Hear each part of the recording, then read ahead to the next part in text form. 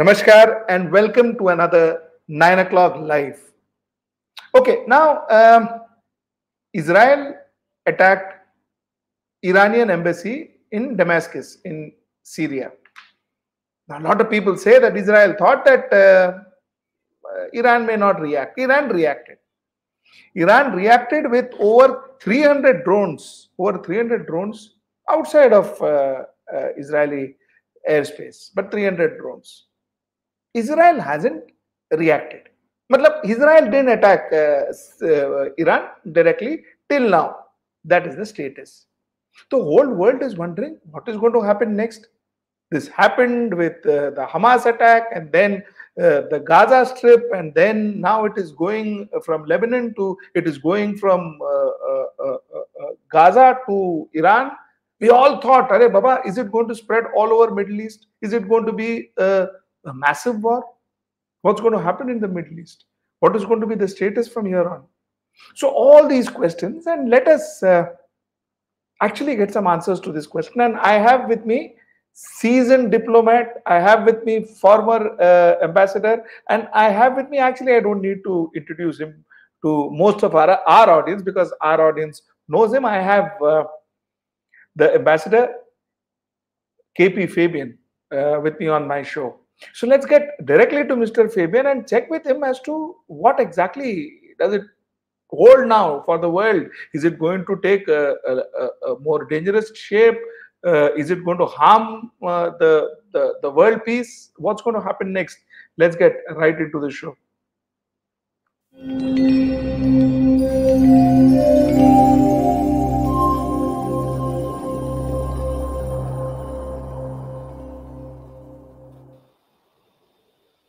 Sir, thank you so much for joining me. Thank you so much for joining me. It's such a pleasure talking to you. And, uh, sir, what is going to happen to the world next? Uh, uh, Iran attacked, uh, Israel hasn't. What next? Well, thank you. Uh, always a pleasure to be with you and uh, to be exchange talking to your thousands of listeners.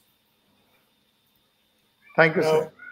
Coming to the question that you have raised, on the 1st of April, Israel attacked the Iranian embassy in Damascus, and seven people were killed, including a senior commander of uh, uh, Islamic Revolutionary Guard Corps, IRGC.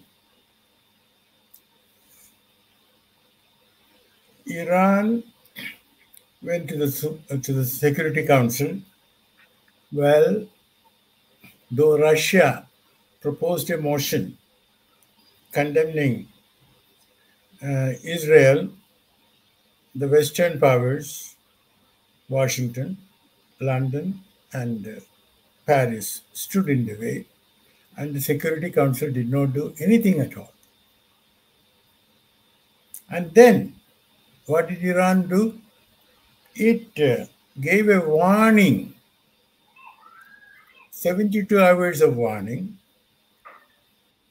to America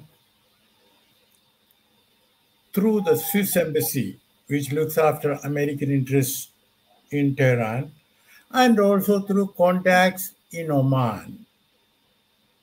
The intention was let Israel take all the precautions so that there will be no civilian casualties and the damage done will be minimized.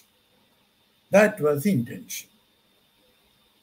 Well, thanks to the warning given by Iran, President Biden cut short his stay in Delaware, rushed to the White House.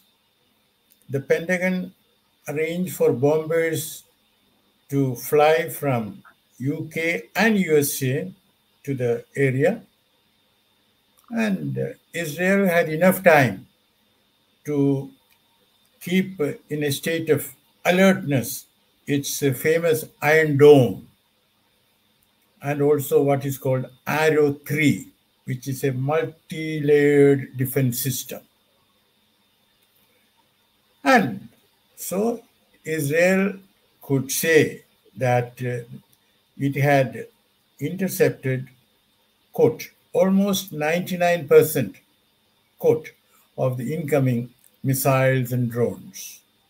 A little girl was uh, injured, but otherwise there was civilian casualty. In other words, Iran took all the trouble to minimize, which is in some contrast with what Israel did. And of course, Israel went to the Security Council. Iran was condemned by the West, but uh, Russia and China will not let the Security Council pass any resolution which is uh, uh, disfavorable to Iran. So that is where we are. Now the question is, uh, Biden immediately rang up Netanyahu after, you know, the uh, after the Iranian attack on the 13th of April at 2:30 in the morning, eh, Israeli time, and expressed his uh, rock ironclad support for Israel, and that is what the readout from the White House said. But officials explained later that Biden has told Netanyahu not to hit back at Iran and that United States will play no part in that retaliation.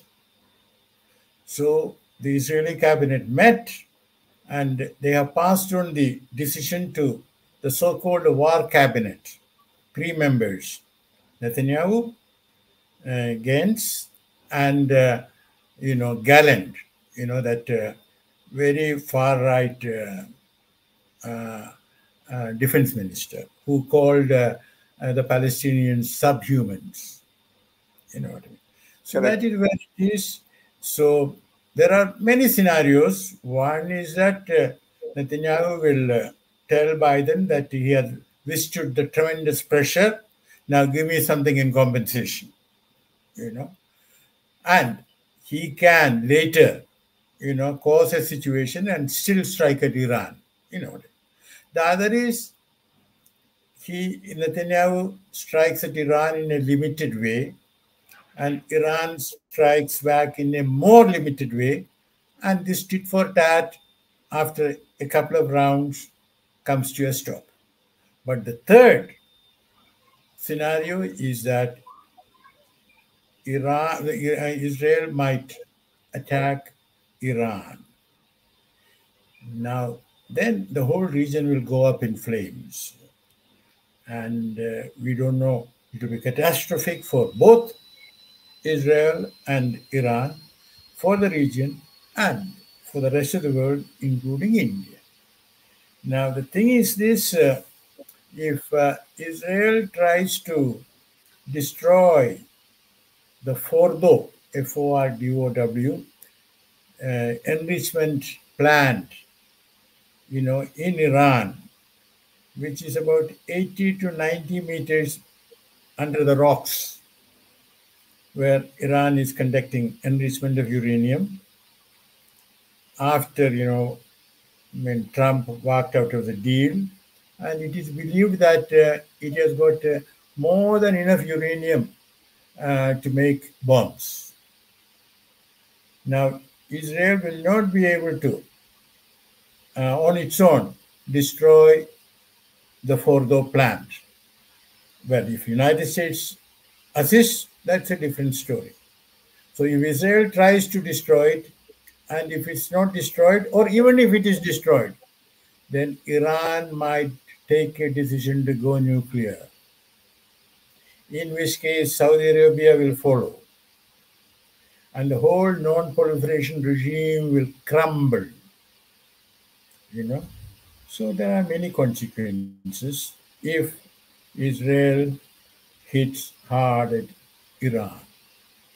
And Sir, as far as India is sorry. concerned, we have more than 8 million of our people there. Oil prices will go above the roof, and you can imagine Sir, why would uh, uh, Israel decide to strike now? Uh, I mean, isn't isn't it, it? Wouldn't that be the most illogical thing, and the and a, and a, and a, and an absolute diplomatic disaster for Israel? Well, the only reason why Netanyahu would take that course is because he is in serious danger. His popularity is coming down. And if tomorrow there were if there is an election, he would lose it. And there are also corruption charges against him. So long as he is prime minister, these charges cannot be proceeded with. So it is in Netanyahu's personal interest to save his uh, political skin, to enlarge the war, and to prolong it. And now there is a strong lobby in Israel which wants to hit back at Iran. Sir, uh, I can understand Lebanon. What? Why Iran? I can understand Syria. Why Iran? Why? Why? Why? Why? Uh, why mess with Iran? Well, Iran dared to attack Israel proper. Who has attacked Iran, uh, Israel in, in the last uh, so many decades? Nobody. I mean, Correct. what the Palestinians do is a different matter. They are there, hmm. you see. But no foreign power had dared to attack Israel for a long, long time. You have to go back to the last, uh, you know, 1973 war. Nobody has attacked Israel. Sir, uh, uh, Israel blames is, uh, uh, Iran of siding with Yemen and Syria, and uh, the country their name is uh, Yemen, Syria, and uh, uh, uh other countries. I mean, they they and, and, Lebanon. My my apologies, and try and you know group this country and play mischief in in in Israel. If that is the case, that is true, then isn't in some way that it is justified that Israel is venting its anger in, in some form? I do not think so. I'll tell you why. You mentioned Yemen, correct? Yes. Now, Yemen started interfering with the passage of ships. Hmm? Yes. When? Much after Israel started its genocidal war. Please note my adjective, I mean it, on Palestinians in Gaza. Israel has been killing them by bombing, by starving, by not uh, by denying them water, medicine, you know. So that is why the Houthis in Yemen started interfering with the passage of ships. Okay? And they have said that uh, if Israel stops, you know, the war, they will immediately stop doing this. And the United States had a big plan for protection shield and all that. Well, it has not worked. There have been at least 90 attacks on ships after the so-called protection shield was put there. Okay, so that is Yemen. Now, if you take uh, Lebanon, well, the Hezbollah there, they are fighting against. They have been fighting against Israel for a long time. And in fact, way back, uh, Hezbollah was able to beat them back in Lebanon, long time ago. Now, Israel has been bombing southern Lebanon, you know, and uh, perhaps you know a huge number of uh, Israelis have left uh, northern Israel because of uh, uh, Hezbollah's sending rockets and missiles and all that, and also Israel has killed some of the Hezbollah commanders. So Israel actually provoked Hezbollah. And uh, also, there are armed groups in Iraq who are sympathetic towards Iran, and they had attacked American bases sometime back, if you remember. Yes. And Israel and Iran had hit back. Only thing is that again, Iran hit back after giving a warning to the United States. You know, so that uh, there was not much destruction and nobody was hurt. Look at the way Iran conducts its military action and the way Israel conducts its military action.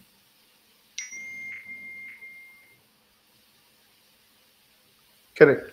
Sir, tell me, uh, uh, most importantly, uh, uh now I'm asking you as a very, uh, uh, as a layman, sir, so please forgive my ignorance. But is there a, is there a possibility that, you know, if Israel attacks uh, you know, we all started with Palestine. Now it has moved to Syria. It moved to uh, it moved to uh, Iran. Is there a possibility that if uh, uh, Israel attacks uh, Iran, will there will this grow? Tomorrow Saudi Arabia coming in, day after tomorrow UAE coming in, day after that Sudan coming. In. Is this going to grow? I do not know whether Saudi Arabia or any other Arab navies of uh, Iran will come to its rescue.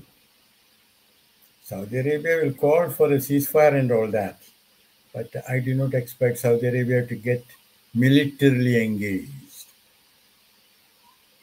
And uh, while Iran might not be able to, uh, what shall I say, attack Israel proper, because in Israel has a strong air defense system and all that, nor will Israel be able to send its uh, ground troops to Iran and make them surrender.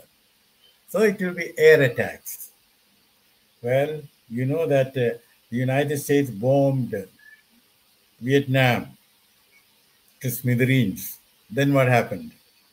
If you remember, the American ambassador had to leave in a helicopter from Saigon, clutching on to the embassy flag, which he had you know, taken, removed.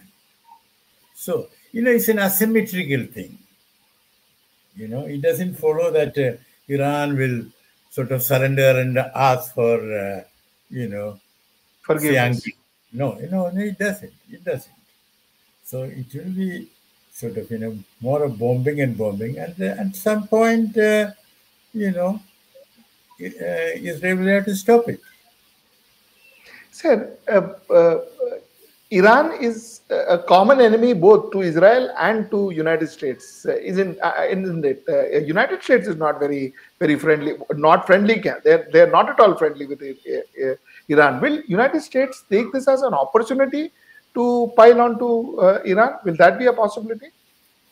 Well, let me put it this way. I was in Iran when the revolution took place and when the American embassy was you know, diplomats were taken as hostages. Hmm? Mm-hmm. 1979.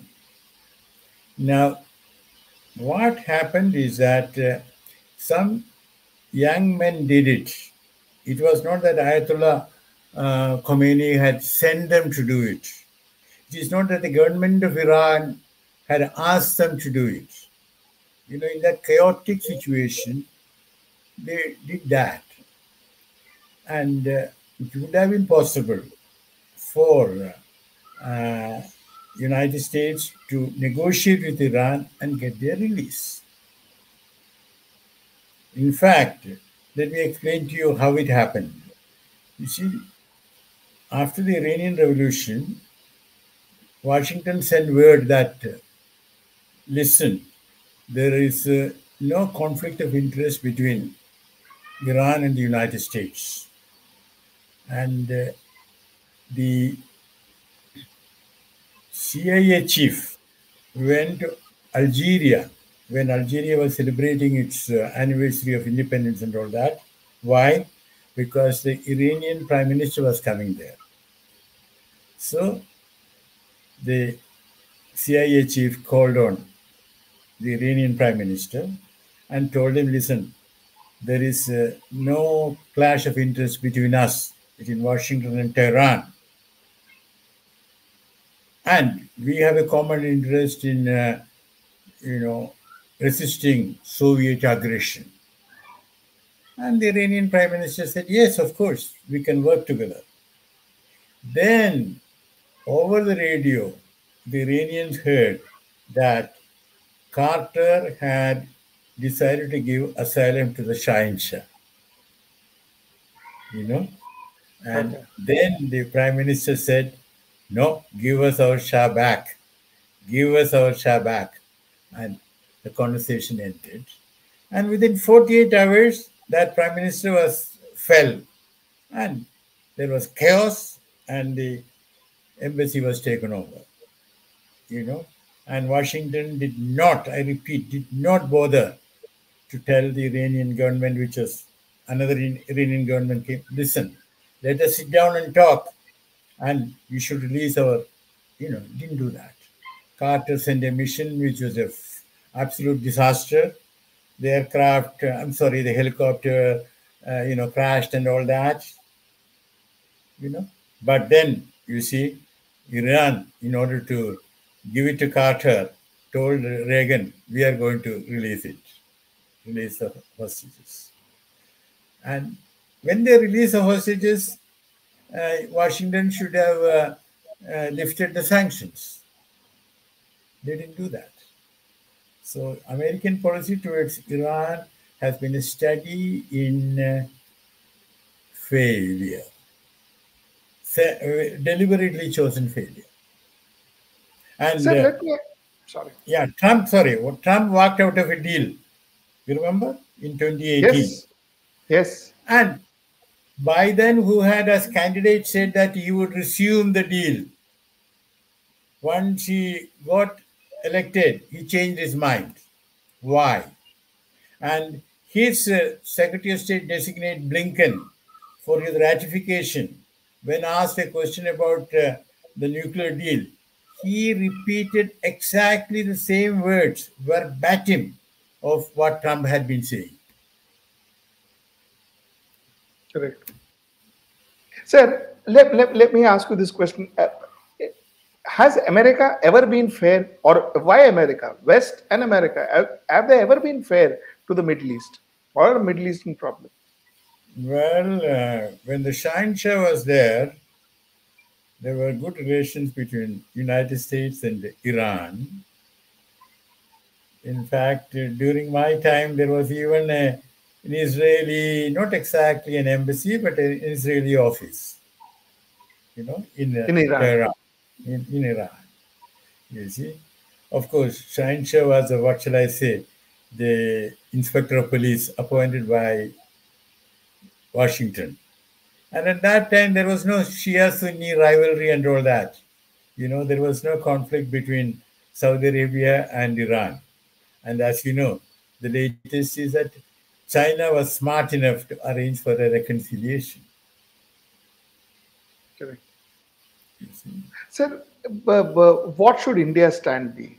India should be neutral. India should stand by our friend uh, Israel. India should stand by uh, Uh, uh, uh, Iran. What what should India stand Our External Affairs Ministry has come out with a very good statement urging restraint, you know, which means addressed to Israel, because it is Israel which says that it is going to retaliate, you know, and that what is required is a diplomatic resolution of matters in dispute. That's a good statement. And I'm glad that there was no tweet from the PMO. You remember what happened? 7th of October? There was a tweet which was put out without consulting MEA, but MEA started correcting that, though it took them a little time. Correct. So many days. Correct. So many days.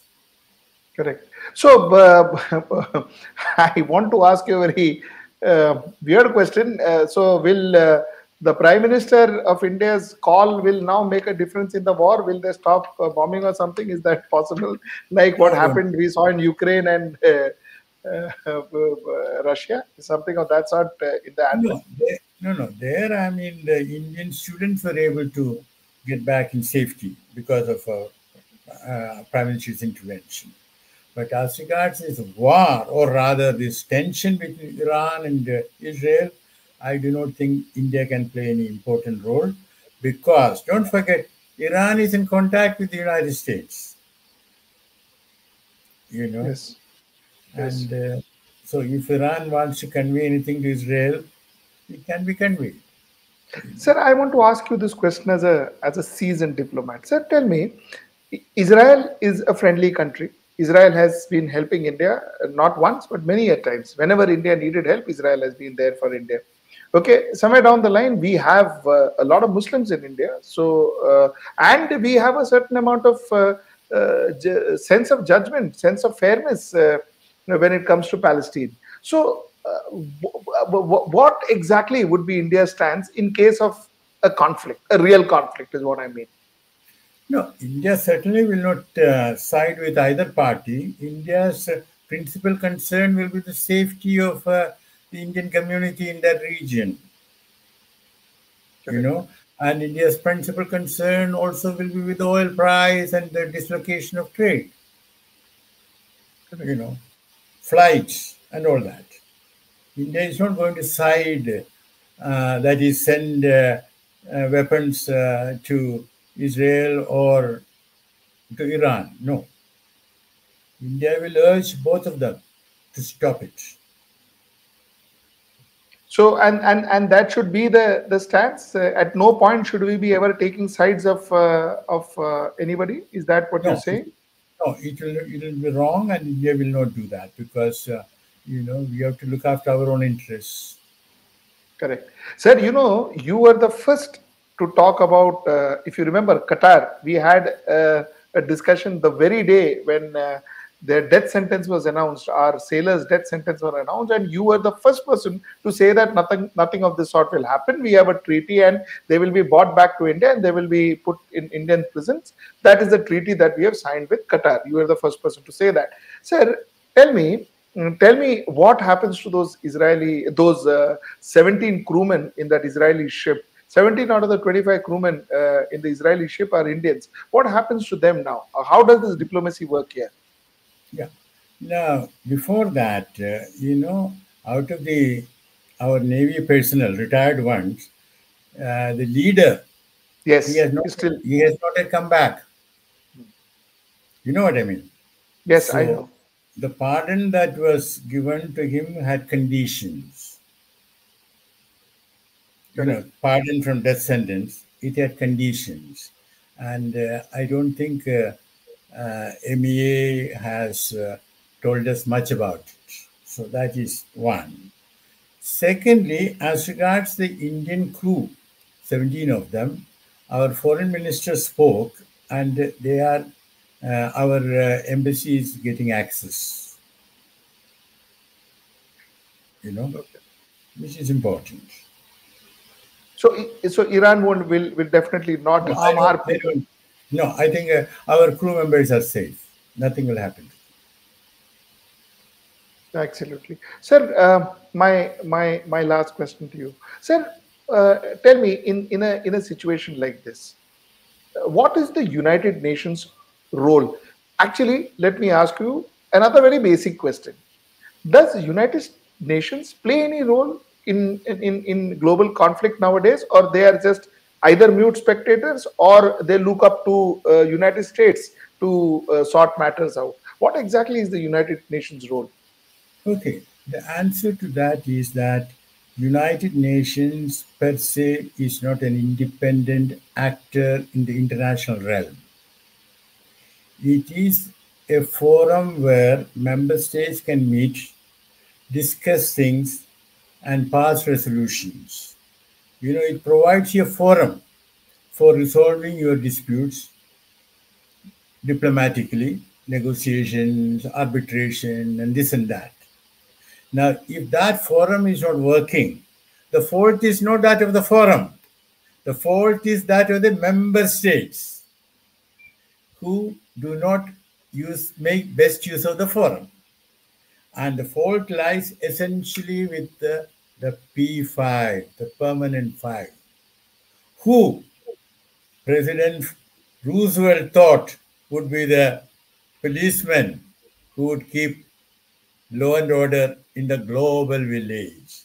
Now, far from keeping law and order, these five policemen have started wars, have taken sides, and you know they have not discharged their responsibilities. So the fault is theirs, not that of the Security Council or of the UN. Sir, uh, I want to. Sorry, I said I, that my last question, but I will ask. I want to ask you one more question, sir. Uh, the Bharatiya Janata Party uh, has put up in their manifesto that uh, they will try and get us uh, into the Security Council. We will be we will be inducted. They will try. They will endeavor to induct India into the Security Council. Sir, is that possible? Is there a scope? Can uh, a party uh, do that? Is that possible? I'll put it this way. First of all, India qualifies eminently for a permanent seat in the Security Council. But I do not think India has been going about it in the right way. Let me explain. You know of the G4? Yes. India, Brazil, Yes. Germany, and Japan. Now, just have a thought experiment. Suppose all the four are in. Then, how many from Western Europe, please? France, UK, and Germany. Yes. Does it make any sense? Yes. No. And do you think China will agree to Japan? No. And even for Brazil, there will be, you know, rivalry from Mexico and Argentina and all that. And also, the G4 doesn't uh, have anyone from Africa. You know what happened? The G5 met, including Africa, way back uh, during the General Assembly session, and it was decided that the next day there will be a press announcement about the G5. Well, everybody was waiting for the African representative, meaning African president. Then the phone call came. Sorry, we can't make it because unless the OAU, Organization of African Unity, passes a resolution, we cannot project ourselves as a candidate. So that became G4. Now, I think what India should have done, instead of projecting India, Japan, Brazil, and Germany, and all that, India should have said, listen, there is need to restructure the Security Council. The number of permanent members should be raised from five to, say, 10 or 12. Let the General Assembly decide. And then let the General Assembly decide who should be in. You know, we are not putting our own candidature. Let the General Assembly decide.